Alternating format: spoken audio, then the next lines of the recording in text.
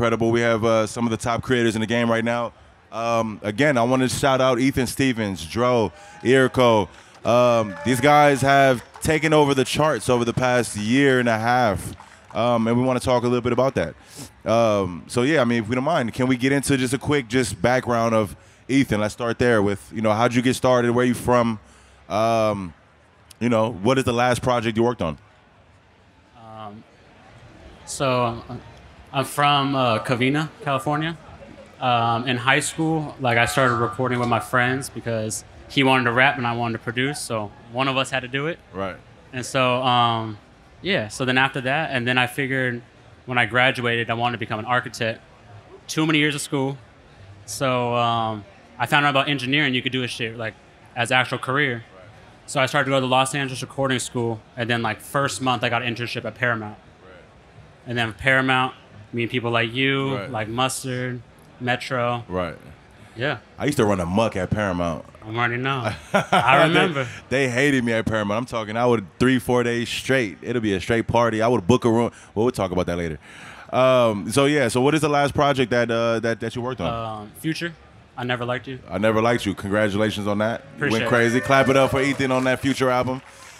We're gonna get more into just the process, but you know, I want to get into Dro. Um, you know, obviously, man, talented dude, bro. You personally, you know, under the radar. I, I you know, it, it took some research of me to really understand and you know realize where you from. I, I want you to really explain to these people where you come from, like how, like what's your process, or you know, how'd you get here today? Um, originally, I'm from Miami, Florida, and uh, I pretty much started out there. I was working with Rico Love for a little bit. Shout out Rico. Yeah, Rico, he's definitely the man. And uh, from there, I just decided to make the move out here to LA. Um, at kind of one of these events, it was a smaller event, but I met Dave Pensado, where he was the one who kind of mentored me into the mixing game. Word. Yeah, yeah. Did you, did you work with him? Like you Yep, yep, him? yep. Alright. For about almost almost two years. It was like a year and year and a half, a little bit more than He, that. yeah, Dave. He he breeds legends. I mean, he, he Oh, yeah. Jaycen Joshua was one of his assistants as well, right? Yeah, Yeah. yep, yep. And uh, you know, WizKid thing happened coincidentally. I just bumped into him at a studio, Right. and uh, I started listening to his music, and I told him, I said, "Hey, man, I think I can help." Right. You know, and then one thing led to the next, and I started mixing his music, and here we are too. today. Killed it today. I want to talk a little bit more into the process in a second, but let's get into uh, Irko. Um, man, shout out to you, brother. I know, again, man, you've been killing it. You know, beyond this Kanye album, you know, this is just one that obviously you completely just killed. Thank you. And I want to talk about were you one of the guys that almost got fired as well when Kanye was tripping? You know what I'm saying? but uh, like, let's talk about a little bit like where you come from. Like, how did you, like, you know, like, where are you from? How'd you get started? For sure. I was born and raised in Venice, Italy. So, uh, you know, the landscape of the early 90s, uh, musically speaking, in my country was completely different than anything here, you know? In fact, I fell in love with hip hop music because of, you know, that at that time, hip hop music, especially specifically boom bap hip hop from New York, it was the music with the biggest bass. I've always been a bass guy, and so that was it for me, you know? and that's how I learned English actually, listening to rap music. Yeah, yeah. So at first, you know, it sounded like blah blah blah blah blah. I didn't know what they were saying, you know. I didn't know anything, you know. and I just kind of fell in love with that whole thing, and uh, eventually discovered the whole culture and this beautiful, the beautiful culture that surrounds it, you know. Right. And uh, but yeah, so for me, it was always audio first. And it just incidentally happened that music was attached to it. Right. And so yeah, then I, you know, I'm kind of known still in my hometown for having the biggest bass in the trunk in these tiny little cars. If you guys have ever traveled to Europe, you know our cars are very Oh, I know. I love it. Yeah, yeah. Um, but I have the, you know, the biggest subs, and now I have the biggest subs in a building. You know, There it is. There it is. like you. We gotta, we gotta, we gotta bring back one of the Fiats and get it like a. So I wanted you to do the, the car test that you do on YouTube That's in right. the Fiat. and you- That's right. um, no, that's incredible. That's incredible. Real quick, um, I just wanted to talk. I mean, I know a lot of like spe- specifically like West Coast music and like East Coast music is big overseas. You know, especially back in the day. Like, who was it? Like, who was who really influenced you? Like, what was the artist or who were the artists that you listened to during those times back in Italy? Right, right, right. My biggest influence was definitely Timbaland. You, Yeah. that was the, and you know when I got to work with that team, it was like, wait a minute, is this real life right now? It's mind blowing. And the other one would be definitely Dre. So uh, you know, Wow, you worked from one spectrum to the other. I mean, on Two- two greatness goes, of yeah, I great, mean- yeah, greatness. yeah. Of course, the disappointment was always the max when I was trying to compare my mixes to anything that was Dre it's shit. humbling, right? Yeah, it was like, oh yeah, no, no, no, we're not, we're not even close, you know. But that was the perfect way for me to like be in the gym and just, you know, grow the muscles because whatever I was working on was so far away from the quality that anything that was coming from America was. So then when I got to New York and I started working with the real guys, I was like, oh wait a minute, this is very different, you know. So yeah, I mean, you said something important there. It's like in the gym. yeah. You know that they, you know somebody obviously from a different country, right? You said you couldn't even speak the language, you Right. know, and you know the fact that you've taken the time to go into the gym and strengthen your muscles when it comes to the Totally. sonics, right? Totally. it's important. You know, and it, it keeps showing you panel after panel after panel how important it is to remain a student of the game. You know, understand the tools that you're using, study them, study the people you look up to, right? Understand what they use as tools, understand their process, and try to apply, make as much as that applicable to your process as possible. And again, Yeah. you know, these are testaments to that. Incredible. When they say there's beauty in the struggle, right? When you're working with the trashiest of singers because it's their your cousin or something, don't tell them that, of course. But that's the perfect moment for you to really, you know, get great great at your craft. And then when you get to work with a great artist, it's like, oh, this is a breeze, you know? Muscle memory. Yeah. That's a fact, man. Shout out to you. Um, man, that's incredible, man. A lot of a lot of great stories. Um, so obviously, you know, uh, Ethan, you know, working with Future, was that the first album that you've worked with him, or that you mixed for him, or worked with him on? Yeah, that's the first project. How did you link up with Future? Metro. Metro. So you worked with Metro before the Future project? Yeah, I mean, I'm, I work with Metro full time. Okay, word. So I'm with him every day. Incredible, incredible. What's that So- like? Like, tell me, tell me what that process is like with Um, Metro. He's a talented dude. I'm shout out to Metro, one of the homies, um, but super meticulous, right? Somebody who knows exactly what he wants, Yeah. right? As an engineer, when working with a producer that knows exactly what they want, explain what that is like. Uh, knowing when to not change that. Right, Like when to like not overprocess shit and when Right. not to like. That's how he wanted it. right. You know, it's not about me. It's about Right. him. It's, it's Exactly. his We're, music. we're tools. We're tools. yeah, in yeah. the room. So it's just Is like it, no is one want to more? stop. Is it more of him giving you the direction, or are you just kind of having that intuition on what not Um, to do or do? We're on the same page for the most part. We've Nice. been working together for long enough now that it's yeah.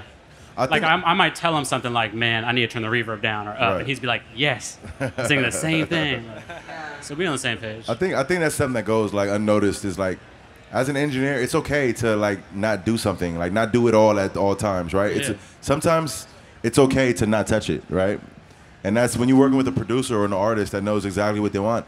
It makes our life so much easier because you don't have to go through the rigmarole of trying effects and trying different things, you know, to try to, you know, that spends hours. It takes hours to make something, take it off, try something else, take it off, you know. So I, you know, shout out to Metro for you know working with them. Uh, Dro, you know, when you, for one, shout out to you because when I first hit, when I first heard the WizKid's album, you know, I was actually looking at engineers that might have been from Nigeria or in Africa that mixed it because the way you mix the percussion, like the way it sounds so authentic, right? Like, did you study this genre for a little bit while you were working on it, or like, what was your approach as you were working on Afro beats? Like, you know, that's Yeah, I think I had a little advantage just because I'm Brazilian. right. And a lot of our about to say, culture- where are you from? Because that's where it really begins. Yeah. No, for sure it does. Yeah. You know, our culture is based off African culture. Of so course. yeah, our music is kind of like their music. It makes Percussion sense. heavy. It's very not- percussion not, heavy. Not really drum influenced. Exactly. So like I kind of you know already had it in my blood, but I definitely had to study a lot of it. You know, and thankfully because Wiz introduced me to a lot of great guys, a lot of the greatest producers out there. They would come out here to LA. And you know, I would kind of sit with them for a long time and have conversations about it. They would play me songs that they grew up on, and you know things like that. So I was able to kind of soak up the sauce a little bit, and uh, yeah, definitely, definitely took a lot of you know studying. How do you think? How, how do you think the time that you that it took for you to study the Yeah. sounds and the sonics and the placements of again percussion? Because I'm a big fan of, of Afro beats. I'm a piano. I, I, Yeah, yeah, for I go to Africa at least once a year and turn the fuck up. I love it out there, right? Best place for It's that. crazy. Yeah, Yeah, yeah, I it's, need a, to it's a go. blast. I need to It's go. a blast. Yeah, yeah, yeah. But like you know, what is like the time that you've taken studied? Like, how would you say it like really helped you execute on this gem of a project you work on? Yeah, I mean, I, honestly, man, like I had the greatest people around me as well. You know what I mean? And uh, specifically, the the main producer P2J, he was like pretty much executive producing the project. He basically said, "Dude, do you, you know, send it back and we'll work on it." Fire. And the freedom that it gave me was actually amazing because a lot of times, you know, one of the hardest lessons as an engineer is when not to do something. You know Right, what I mean? right, right. You guys were just talking about like it makes it easier for us, but a lot of the times we want to jump in there and do everything. Right. You know, so he was honestly a, a real big, real big part of it. You know, we kind of going back and forth on trying different things because Made in Lagos 2 is not really like a super Afrobeat album. Very crossover. You know, Very cha- crossover. Yeah, That- that's why it got critically acclaimed in the states. Exactly. Right, exactly. right, I mean, the low end and that type of music didn't really exist before. Right. And then you talk about, you know, especially even Essence, one of the songs that did extremely well here, has a ton of low end in it. Right. Which is kind of finding a new balance for that, finding a new sound, you know, and it took a lot of experimentation. Right. You know, and I think you cracked it, bro. I think Thank you, you. cracked it. Not Appreciate even that, it. but you said something. The producer, right? Just being open to trying things and being with you throughout that process, which is an important fucking step, right? Yeah, Because at that point, like you said, you're not worried about failure, right? Yep. Because you could do no wrong because you have somebody there to catch you when you fall, Right. sonically at least, right? 100%. Yeah. No, if shout I can to just them. say something, I mean, this that that that dynamic relationship that you have as engineer producer is so important because I came up that way as well. You know, um, well, when I my current uh, partner now, Danja, like that's how we started. Everything was communication. Like he was a young producer, I was a young engineer, but just that dialogue really helped me, you know, cultivate to be a better engineer and really understand, you know what I mean, like sort of what was happen things that I wasn't necessarily understanding because I don't have a I'm not a musician. Right. You know what I mean? So that helped me kind of become like, okay, I get this. You know what I mean? I kind of felt more of a musician after having that dialogue with him over time. So super important. It's very important. Like I said, it's, there's this there's this trifecta for creation of music, right? It's just literally a triangle. You have the artist, the producer, and the engineer, right? And without one of the each one, you don't have anything. Nope. You know, so It's crazy too. I'm not to cut you off because, you know, for a long time in my when I was like younger, growing up, I never even knew there was an engineer position. In my mind, it was just artist producer in the room, you know. And it wasn't until like I would always say I want to do music, I want to be in music, and the engineer position wasn't even like even explained or Me too. told or I nothing. had no idea. Right. So one day I show up to Full Sail, the school that I went to, and I walk into a studio and I'm like, whoa, I want to do that. What's this? And they're like, well, we can teach you how to be an engineer. I'm like, what's an engineer? You know what I mean? But that's how like, it, you know, jobs like this were not ever. It was like I, I don't want to say it was secret society. I just don't think it was anything that people could really talk about. Right. But I was so intrigued, and that the, that that trifecta that Ali is talking about is exactly what it is. I wanted to be in the room and be creative with the producer, with the artist, with the writers, and you know, and and and here we are. Like you know, that's a fact. That's a fact. Man, Irko, man, the man of the hour. Uh, the bow ties. Okay, Yo, the bow you- ties, I will the take bow that. tie, the, yes, the man, yes. The man of the bow ties. You know, how many? it. Let, let me just ask. How many do you own? How many bow ties do you have? 300. You you really, count Really? that? Wow. Yeah. Jesus. Shout out every to- day. Every day is a new one, yeah. Wow. For the well, most there's up to part. 365 Yeah. days in a year, so Yeah, you, you, Yeah, better, you I'm- got. I'm 60 still collecting. Wait, yo, maybe we'll gift you one. Let's do it. Let's do it. I need an engineer's one. Yeah, all right, yeah, yeah, yeah, definitely. Uh, I'm on it, guys. Engineers both sides. ASAP, ASAP, ASAP, ASAP. Um, you know, for one, congratulations on your new facility. You know, um, I've seen on socials and obviously I've been watching the YouTube, Yeah. which are incredible. If you haven't seen Irko's YouTube, you want to just say it real quick. I know you're not a YouTuber, but oh, it's just Irko. Just Irko. put my name, it'll pop up. Um, but yeah, talk about like like what was the process like building that room? Like what type of speakers do you have?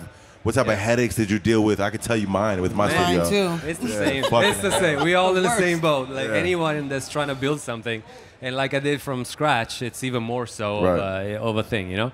Uh, well, it's been you know years. Uh, the the first uh, the first section was getting the team together. So the acoustician was the number one, and then the architect and the engineers, all of that. But the acoustician was really the, the, the most difficult one for me because, of course, I'm erecting a building, fine. I don't give a shit about the building. I want the studio. I want to talk about the studio, you know? So it was all, all about that. But uh, that took me a long time. I, you know, freelanced in America for over 15 years, all, all, over 10 years. It, you know, I kind of had a little bit of a list of, uh, you know, oh yeah, remember I like liking that studio, and maybe not really liking the acoustics of that one. So who designed this one? You know, so I had a list. Kind of pulling in everything that you Yeah. liked from every studio. But then a lot of these uh, studio designers are very old guys, and I want I don't want to talk shit, but you know they don't do emails, like they don't do Oh my text. gosh, It's really? like I need to, you know. Yeah, of course. this is my baby. Yeah. You know? Right. so uh, uh, you know, so it was that. Anyway, I finally walk into this room and I'm like, oh my god, this is incredible. That's like kind of like the design I'm going for because I didn't want to have something that looked incredible but didn't sound quite good, and I also didn't want it to sound crazy perfect, but being just like a dry looking place, you know. I mean, it's the vibe of the studio is, Right. is everything. It, yeah, yeah, yeah. So I wanted to have both of them, and I finally saw this in the studio that I walked into, and I was like, you know, put me in contact with whoever designed this place. And the next day, I was on the phone with this guy who happens to be Italian. So of course, you know, it was a connection right there. Match made in heaven, huh? Yeah. So then after that, you know, while the building was being erected, we had the studio being designed in Italy. And once that was done and I was uh, happy with the design, I asked the studio designer, I was like, what do you think about the actual construction? And he was like, well, why don't you consider these guys in Italy? And I was like, wait, but the studio's in LA. How to, you know? He's like, well, why, do, why don't we make it in Rome and then pack it onto a ship and send it over to the other side of the planet? And I was like, okay. Sounds expensive. Sounds expensive. Sounds complicated. Sounds like I shouldn't do it, so I did it. Hey, always, always doing the opposite, right? Yeah, yeah, yeah. So that's so that was another thing. You know, I imported a bunch of material from across the world, literally. So that was a, a, a while. And you know when you're like ordering some shoes and you keep an eye uh, on, on the tracking number to see where the Oh, shit's Right, man, are. what right, a right, nightmare! Please Imagine if you have three trucks worth of recording studio. going across the ocean. Yeah, Like, on the boat. On the boat. and through a country, Panama. I would have flew out and hopped on the boat. I was like, I got, I got, let me drive the boat. I would have been on that motherfucker. that ain't a boat. That's a freight. A freight. What do they call those things? My They're big ass huge. back there just trying to steer that big motherfucker. Yeah, that's right. So yeah, it was a trip. But then you know the the, the thing finally showed up in uh, Long Beach. I actually went to see it, like in the in the trailers. I was like, oh, that is the studio. And uh, yeah, and eventually we installed the whole thing, and everything was great. Now, one of the other problems that was uh, a big thing to do for me was that I wanted to have a concrete building because I wanted the sound not to be able to leave out the room, right? So what I did is I did everything concrete, including the ceilings, and even the floating room inside of it also concrete. So the shit moves like you feel it when you jump around, when you blast the Augspurgers and everything, but the sound does not leave that room. yeah. And another thing that's last thing, I don't want to bore you guys too much, but No, you're not boring. I'm intrigued. all right. So uh, one of the things is I chose my subs first, and I decided that the height of the sub was going to be the amount at which the studio is going to be built inside of the ground. So mm. basically, behind the subs, there's the concrete that we were talking about, but also beyond the concrete, there's earth. So mm. the base, you know, this low end information is naturally omnidirectional. It tries to go everywhere, right? Like a sphere. But in my studio, it literally cannot. Pushes out. It can only go towards So the you're engineer. getting like a beam of bass being shot your it, way. It goes your way, and Yeah. and so that's how I got. Not only that, of course, there's a lot of other things, the acoustics of the room, the the the, ba- the, the subs itself, and everything. But you can make out the difference between 37 and 39 hertz. Right. There's a difference. you can feel the difference, I'm sure. You feel the difference, Yeah. but you can also hear it. Right. So you know, all doing all that uh, pristine work that we all do in the low end of urban music, you know, that you gotta know exactly the difference between 50 and 45 hertz, right? So I'm super, super excited about that. And my chief house engineer Steph, when he first started working on the big speakers. He was like, "Oh, I think I can mix on headphones." And once once he started mixing on the big ones, he's like, "Oh yeah, I'm not going back." Yeah, yeah, yeah. And even for me, you know, I gotten so much faster on mixing now. Right. And because I you're, can, you're hearing, it's translating. there is no secrets. Right, right. What you hear is exactly what you're hearing. translates you know? perfectly. And that's So- a blessing. Having a studio that translates, because we talked about Oh, it yeah. earlier, moving around to different studios, having to relearn the sound, having to relearn the sound of the speakers, the Yeah. acoustics of the room. Yeah. It's like you're actually spending more time relearning the room and the in the in the, in the sonics than you actually are creating the song. Very true. Yeah, man. So shout out to you, man. I, I can't imagine what that was like. Uh, I'm in the middle of the process of building my studio now. It's a complete fucking headache. Um, I hate contractors. They can all die slow. I hate it. Um, but no, it's, it's to say the least. It's it's more of it's, it's more of like an accomplishment feeling, right? It's you know we spent so much years giving other people all of this money, right? You know, in places where they kick us out when you're five minutes over your time. Yeah. You know, it's there's, there's it's not about the art to them. It's about the money. Right. And it's having your own space. It's it's liberating. You know. Totally, It's incredible, totally. incredible, incredible. Um, so I mean, I mean, we're gonna we're gonna double back the down line, but I want to talk Irko since we're on you right now. Um, you know, uh, besides the Kanye, what is some of the other stuff that you worked on, and then we'll get into how you got with Kanye on this last album. Yeah. Um, and what that process was like. Yeah, yeah, yeah. Well, you know, I've uh, I'm working on all kinds of stuff all the time. I'm kind of known for my albums. Like I, I take very uh, good care of song flow. I mix and master my own stuff. So there's an advantage of uh, you know having like the bird's eye view of the whole album. And so I do a lot of albums. I'm doing alternative stuff, a lot of hip hop stuff. Uh, I'm doing a video game too um, about you know uh, Street Fighter Six. I mixed the whole thing. Oh wow. Yeah, so if you get you guys get to play it, I mixed every single piece of music in the whole thing, like gotta- 60 plus songs. They like- gotta throw a bow tie on one of the characters. Yeah, That yeah, has yeah. to be like a yeah. has to be Easter egg. Yeah, yeah, yeah. So a lot of stuff, man, and uh, yeah, it's definitely uh, a, a blessing. You know, uh, 20 plus years. You know, I opened my first studio in '98, so being here, you know, 25 years later or whatever, it's like, You're doing something right. yeah, I'm, I'm trying. You know, I'm trying. And uh, yeah, about the Kanye stuff, yeah, I, I you know I got introduced to him uh, through 88 Keys in 2009, I want to say, or whenever I did 88 Keys album, and he was exe- Kanye was executive producing the album. And uh, you know, I've been mixing stuff for him here and there the whole time, you know. But 10 years later, I finally get to Right, you mix, uh, you know, the whole album, Yeah. you know, and that was great. Um, 32 songs. I started mixing it at a stadium. You can only imagine. Speaking of acoustics, how it is to mix in a stadium. Of course, I was rocking headphones. Right, you right, know, right. only headphones. And then after that, we spent another couple of days in a studio still in Atlanta. And then I finally fly uh, back to LA where I finished the whole thing Wow. in my spot. Of finally, course. I was like, oh, wait a It's minute. like a breath of fresh air. Oh yeah, like we're you're- not putting it out like this. Right. So I fixed a lot of stuff, and um, yeah, man, 32 songs. That was like a month of work, maybe a little bit more than that. Wow. And uh, you know, and well over two billion streams later, you know, it's like, well, Right. I, I, I still can't believe that happened, you know. And, Right, uh, right. and it's such a great project. You know, Jason was involved. in- He's somewhere here. He was involved in the whole thing, and Right. you know, my guy Steph was involved. In. Right. You know, it was it shout was a out, labor shout out the squad. Shout yeah, out the squad. Sure. I know it's a good feeling when you work on an album at that statute, and like now the world gets to hear your work. Yeah. Right. Yeah, yeah. It kind of it kind of affirms, and same with Dro, and I can imagine Yeah, staying of with course. Ethan. You know, it's you know when the world gets to hear your work, it's like, like fuck, I told you. Like you know what I'm saying? It's more liberating because it's it's it's like. It's, it's, it's, just a, a- feeling of accomplishment, you know, because for so for one 88 Keys, I've been a fan for so long. Shout out to I haven't heard 88 Keys in a while. I haven't heard the name. Um, but yeah, man, that's that's incredible, man. Uh, Dro, like working with like what, like what was the process? I want to double back because you said something about mixing the headphones and mastering. We'll come back to that question. Um, but when you working in general, what is like your what's your workflow? I would love to sit here and tell you I have one, but I kind of just go with whatever I feel Really? at the current moment.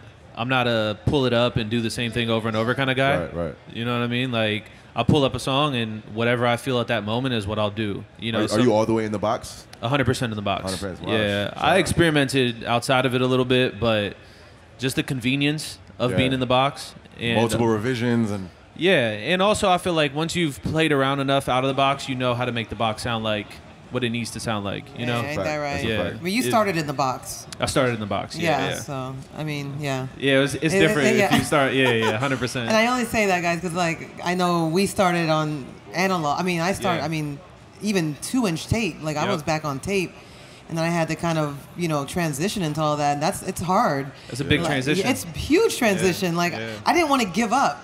Like yeah, it was. I mean, I, I opened my studio in 2014, and I have a SSL 9000J in my studio, and it was maybe like four uh, like four years after I opened, where my partner was like you starting to become a bit of a dinosaur. I'm like, damn, how, how dare you, you know? But like, I love working on a console, you know what I mean? Yeah, yeah. But workflow wise, it made more sense. And I had to transition into that. And it was not like one thing versus another. It was like, okay, you know, I'm hybrid. I'm going to just do a hybrid. You know, at least I still Yeah. have the console. So eventually it was just full blown. Now I'm completely in the box. Yeah. I still tend to go out. I feel like technology also caught up as well, though. I- Yeah, that yeah, too, but I mean, I still, I still use hardware. Yeah. You know what I mean? From time to time, I do like you know hard inserts and whatnot. But Yeah. I think that transition, it was hard for me to give up. Yeah, I'm not against it. If you got to No, use you it, can't- you know no, what listen, I mean? not Like at you all. al- That's that's Yeah. not, Not my all. process. Too. It's like Yeah. if- I spent so many years before even working in analog, just going to these big rooms and seeing all. Like I used to get mad at just seeing people disrespecting the board. Like just they're just ashtrays and shit on. it. I'm like, yo, like it's crazy. Like damn, they're only using it to turn the shit up and down. I'm like, fuck, like we have access to it. That's Right. not, you know what I'm saying? But it is like a s- like a level. So like there's certain artists that I work with that for one just they want that more like crunchier sound rather than getting that depth and clarity. So personally, like when I choose between analog or digital or hybrid, it depends on the artist I'm working with, right? Yeah, 100%. You know, but you know, me personally, like I, I started in the box, you know, on, on a bunch of cracked and stolen plugins, um, and then you know, working with Dre, you know, obviously he's an analog king. You know, uh, he taught me his techniques on the SSL, and I kind of fused all the things that I've learned from you know teaching myself in the box and everything Dre taught me, and that's what created my sound. But I do hear you. You know, if every you're only as good as your last mix, right? And you know, when you approach something thinking, oh, oh, I'm going to run these drums through my presets of drum, like you're you're for one, you're not having fun. It's not you know, you're streamlining something that shouldn't be too much streamlined. Have fun with it. You know, every mix should be a new experience, right? You should every mix should be another time for you to try something new, um, have fun with, and experiment. You know what I'm saying? At the end of the day um, Steven or Ethan. I'm sorry, Ethan Stevens. Um, so uh, you- yourself, what are you completing the box as well? Um, it kind of depends on the project. Right. Like Futures was in the box. Didn't Right. have a choice. Right. Um, They work- Savage Mode 2 was Yeah. on the console. 100%. They work so fast. You know, I did the Future and Thug mixtape, like the one a couple years back, and like fucking hell, they wanted. They, and this is after Seth passed away. We know, rest in peace to Seth. Um, but the the rate they were expecting me to turn these songs around, Yeah. it's like yo, they sent me. I had nine- to do Dolby Atmos and the 360 Are RA you- all in the same time. But the Dolby has to be turned in now before the stereos How is that? because it takes more time, I guess. But it's Oh. yeah, it's But by damn what near whose impossible. standards is that? That's, it- that's crazy. Yeah, Because you yeah. have to have the masters back before you could even do that. Wow. I mean, that's. I mean, to, like, line it up. Yeah, yeah, yeah. The it, stems got it. at You least. know what I'm saying? Um, yeah, that's crazy. I mean, so, so your process with working with Future in this in this last specific album in general, um, working in the box, right? Or did you do a hybrid? No, it was on the box. Oh, the box. How I long was did it take? How long did it take you to mix all those records? Man, I don't know. I mean, I was probably with him for maybe a month, if that. But like, we were recording at the same time, so he might stop me mid mix and like, I want to record a new song. Oh man, that's so that's then it's a going back nightmare. I and hate that, forth, and then hate So we just looked at each other. Yeah, like, we Traveling. like, oh god. yeah. then that with just the throws traveling, you all out the loop. Like, like all that. Rec- like, I cannot. Like, I literally stopped recording, or at least being known. Stop! Don't ask me to record. Not in the mix. Like, I, gotta have one of my other guys do I get or- frustrated. yeah. I'll spend three days on a mix, right, for the artist to be like, "Yo, I, I got a new verse." Yes. It's like, God damn, bro. Like, you know what I'm saying? Like, fuck. Like, you could have called me three days later. I could have been out in the back smoking. damn, fucking up the vibes. no, that's funny, man. Um, no, that's crazy, man. Uh, again, but all three of you guys had an incredible year, year and a half. Irko, you talked about you mix and master. Yesterday, we had a panel where, you know, we had some guests speaking about, you know, them liking the ability to do the mix and back away, throw their hands up and let somebody else add their creative two cents. Is there some sort of advantage or disadvantage for mixing and mastering, or only mixing or only mastering, in your opinion? I prefer personally to do both because I know that what's coming out of my speakers, it's what's gonna come out of the speakers of the fans. So I have full control from the mixing all the way to the master. But really, my mastering is just literally a, D, a 7 dB increase on a limiter at the end of the print. That's it. So your mix is already dynamic. You don't have to do too much to. That's it. Yeah, yeah, And my thinking is, I always say this: if it needs to be fixed at mastering, that means that the mix is mm, is lacking. So it's so much like if we need more high end on the mix, right, at mastering level, when you have the hi hats there, you just turn off the freaking hi hats. right. You know, you're done.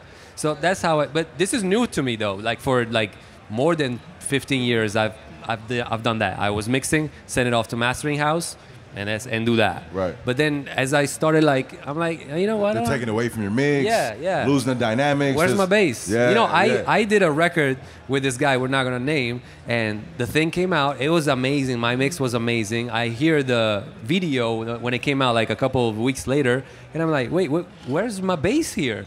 Like they sent it to some pop guy that killed my low end. Oh my just god, squashed it it out. And I'm like, yo, like you could have at least called me and say, hey, this is a what I'm doing. Yeah. But you know, uh, Yeah. so uh, you, you you better believe the guy never called me back for a mix, and I'm pretty sure that he It's suspected of- that it's the white guy with the bow tie, right? so yeah, so that was you s- see what I mean? Like it's one of those things, you know. So it's basically giving more control over the final product. Correct, to correct. Ensure Yeah, yeah, that a client, because I do hear you, because I've, I've obviously we had Depp um, yesterday, who's the master engineer I work with, legend of a guy. Uh, but we have that relationship to where if he sends me a master, he sends it to me before he sends it to the label. So I'm able to kind of listen to it, uh, be like, you know what, you took too much low end out. You've, you know, it's too bright or whatever the case might be. So that relationship. It should be that way, though. It should it be should that be way. that way Yeah. because at the end of the day, I mean, not to knock off these executives, but the, you know, unless they're coming from a production background, they're not really like they're Right. not. What are they listening for? They just are not listening some- to it the way that us, you know, we would all listen to something. And it's not there. They're not getting critiqued off that creative, right? Right. They're they're getting paid no matter what if the album is released. Right. Right. Exactly. Where our next gig is going to be based off Based of how off this of- project sounds. Exactly. And really, It's how our long does a mastering engineer spend with the record? You know. Say it again. And really, how long does a mastering engineer spend with a record? Right, You right. live with it. You You know, have to. like you have to be able to approve the last master. Right. In my opinion, I mean, I only use one guy, Yeah. kind of the same, you know, relationship with him. But I've had situations. Uh, Dave in the UK, his whole last album, I pretty much mastered it as I was mixing it as well. Take off my stuff, send it to my guy. He ended up putting out the versions that I mastered because he liked them better. You know. I, I never. I'm never mad at a good shootout. Yeah, you know never. What I'm saying I love Never. a good shootout. Yeah. yeah, yeah. Yeah. Shout out to you, man. But you have to listen to it, man. Like like you said, that right there is detrimental, especially when it comes to low end. A mastering engineer cuts out your low end, man. We oh, got it happens all we the got time. beef. It happens all the time. I don't understand why. Yeah, Like facts. I always have to send that note in, like keep the ass on. Yeah, you know, yeah, like yeah. Don't need- take the ass off this shit. I Like need, I need to ass fat, man. Yeah, just put your name on it, man. Send it back. we can say you mastered it. It's all good. it's all good. I want the credit. Just, It's cool, man. Just don't fuck it up. just don't fuck it up. That's jokes. That's jokes. Real quick, like before we have any more questions, does the crowd have any questions? We have a ton. Oh, Let's get my got man. questions. I like how you guys talked about um, like building your own studio, and Right. we always hear artists talk about what they need in the studio. What do you guys need in the studio? Like for me, I have two candles setting on top for the vibe of it. What is your guys' uh, essentials for the studio to get into that zone in that creative space? hella dope. You know what I'm saying? I need the gas, my boy. What you talking about? Nah, uh, it's just, what the fu- yeah, pr- pr- he's, you can tell he's not an engineer. He, he puts the mic right in front of the speaker. Clap it up for Prince one time, please, for not being an engineer. Know your strengths. Um, um, but, um, but nah, um, my pro- I mean, I, I just like to come in. I mean, I would come in. I would like to chill. I, I love company, right? I like people around me. I like to have conversation. I like to talk shit. That kind of gets me like, okay, I'm about to get to work, right? Um, but also, I like to be in a calm environment. It's kind of like counterproductive. Like I say, I like people around, but I like to be calm. Um, I just like to be in a good mood. You know what I'm saying? It's because, like I said, as I'm sitting there mixing, and if I gotta, if I gotta loop a snare and a drum for the next six hours, I don't want to think about some bullshit. I don't want to have to stress about about 30 people calling me all day. We got Luke or CTO somewhere around here who calls me and irritates the fuck out of me. Um, so I cut my phone off. You know what I'm saying? That's one. Of, that's that's how I get started. Is make sure that if you're not in the room with me, then you don't have access to me because my phone will just completely go off. You know. What about you guys? Well, for me, it will be acoustics for sure. You know, I need to be able, like we were saying earlier, to have an understanding of what's the audio. But other than that, I'm I'm low key. You know, my little tea in the morning. I'm I'm good. You know, I'm good. Yeah, yeah the bow tie for sure, of course. Yeah, I think it's all you know, whatever fits your vibe. Right. You know, I mean, acoustics for me is a huge thing. I struggle if I'm not in my own room. You know, if I move around a lot. You know, we were talking about this earlier. He said he probably hasn't done a single album in the same room uh, twice. So for me, that's hard. I'll move around and I'll go to different you know studios and I'll listen to the speakers and I'm like, ah, I don't really know what's going on here. As soon as I get back in my room, I know immediately what I need to do. So acoustics definitely a big thing, but also whatever just makes you vibe. You know, whatever gets you in your zone. You gotta be able to enjoy it. Same thing, yeah. Nothing specific, really. It's just like I'll just do it. Whatever. Everyone, Yeah. yeah, everyone just got their own vibe, you know. But you know, again, it's just it's just cater to yourself. You know what I'm saying? Whatever makes you most comfortable. You know. Anybody else? Uh, I think we got one in the back. Uh, I have two questions. Uh, Ali, I know you uh, worked with Kendrick for 10 plus years and you guys with Future and Kanye. Uh, what would you guys say that their mixing process or recording process is like? Say it one more time. Uh, what would you guys say that their mixing process or recording process is like For for um, uh, Kendrick, for you, um, for and Future and Kanye for them? So Kendrick's recording process. So obviously I've been done everything for Kendrick over the past ten years. The only album that I wasn't fully involved in was his last one, because obviously I'm trying to build this shit. So there was a point in my career where I had to be like, yo, okay, am I gonna continue to, you know, be available for an artist 24 seven, or am I gonna build something for myself, right? So I kind of, you guys obviously can see what I chose. Um, but everything before that, um, the process with Kendrick is he's a legend. He's a goat. Like he knows exactly what he wants, right? The recording process, um, which I haven't recorded for him since 2006, but it's it's it's more of watching him pace back and forth, putting together all these things in his head, right? Keep having to loop certain parts of the session for him so he can write to them, um, and then when he's done, record them, right? But the mixing sessions, he's super hands-on, right? He sits with you, sits with mastering. He he wants to ask you questions on on terminologies. You know, what does this do? Why would you use this other than that, right? But that shows you the type of artist he is. Somebody who's so intrigued into the process. So when he's making a song for himself, he's like, okay, I'm gonna try to stack it this many times because I know this effect would do this if you do that, right? And that's what I was saying to the young lady here who was an who was an artist who was asking about, you know, is it, to learning how to record or mix your own music. It's important because all it's gonna do is, at the end of the day, give you clarity on what sound you're trying to achieve, and it ensures that you just know what the fuck you're talking about, right?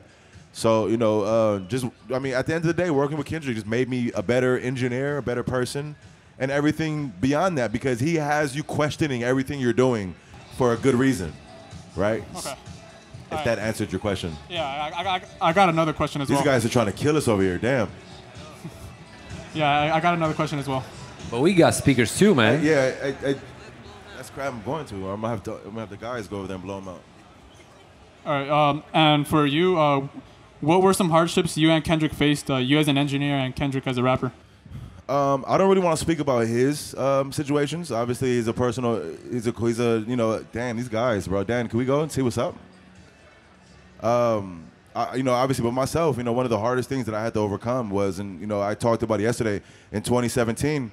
Um, you know, I reached. Uh, I hit a brick wall, right? You know, I was depressed.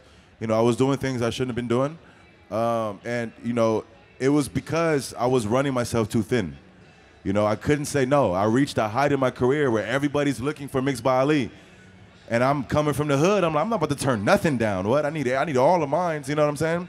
So during this one time, I'm mixing Vince Staples, uh, Prima Donna, Mac Miller, Divine Feminine, YG, uh, Schoolboy Q, um, and another one, uh, and Oxymoron. I think that was Schoolboy. It was five albums at one time. Um, but I, I, I wasn't myself, right? I was losing relationships because I wasn't giving every project the attention that it needed, right? Um, I was I killed my my personal relationship with my girl. It was completely just terrible that I had to amend. Um, but mainly, it was just I almost lost myself, and you know that's when I talk about you don't want to lose yourself to gain the world. You know what I'm saying? So it just it keeps you humble. Um, thank God that you know I made I dug I dug myself out of that dark hole to get here today, but um, that was probably the hardest time of my whole life. Was 2017. Anybody got another question? We got to cut. Damn. And let's get one more question. Let's get one more question. Uh, my man in the back right here. Jesus. Yeah, that, that was rough. Uh, you mentioned a story about mixing a song and then someone wants to add a verse. Is there any funny stories about uh, mixing a song and then someone wants to re-record a verse you already spent hella time mixing? I'll tell them to go to hell. nah, obviously, like I said, you're a tool. You got to do it, right? I mean, they're for the artist. If not, somebody else will. It's not fun, you know. And you do it with a frown on your face, and you, you might be calling somebody a bitch ass something for so long, but you get it done. You know, at the end of the day, you know, I keep mentioning we're here for the artist. We're not who we are if it wasn't for these songs. You know, no matter how we feel about their processes, you know, just as long as you keep respect for the art, you, know, you can get past the bullshit. Word. Um, unfortunately, I have to cut it short because with this, they- they're closing this place at six, and we have to get by two more panels. Um, yeah, we're, we're running behind like hell. Um, real quick, I want to thank you guys, uh, Irko, for Of course, of course. again, Thank you for having me. Thank you Uh, guys for being here. for the squad. Thank you. Dro, Ethan Stevens. Follow Irko on Instagram. Follow Dro. Uh, where is Dro, right? Or who is Dro? I, I kind of fucked up. Where is Dro on Instagram? Ethan Stevens on Instagrams. Irko, yeah, I found him, yeah. Um, and shout out to the guys, man. Ask them questions if you guys see him running around uh, and fuck with your boy.